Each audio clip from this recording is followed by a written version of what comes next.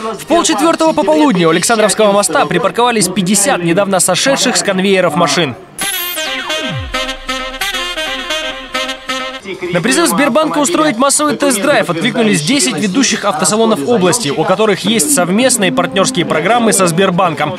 В выигрыше от этого сотрудничества должен оставаться конечный потребитель. Автокредит со Сбербанком – это в первую очередь возможность э, приобрести понравившийся автомобиль здесь и сейчас с минимальными затратами времени. В данном случае Сбербанк э, понижает ставку по кредитам, а автопроизводители, соответственно, делают скидку на э, понравившийся вам автомобиль. Для того, чтобы прокатиться на любом из представленных на выставке автомобилей, достаточно было иметь при себе два документа – паспорт и права.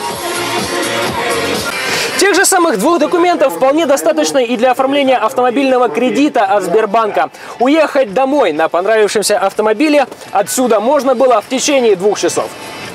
Чтобы получить свое представление о выбранном на тест-драйв автомобиле, у автолюбителей был один круг. Через сквер Ермолова на Комсомольскую и обратно через Посадскую и Гостиную. С учетом пробки в центре дорога занимала около пяти минут. Для получения впечатлений вполне достаточно. Здравствуйте.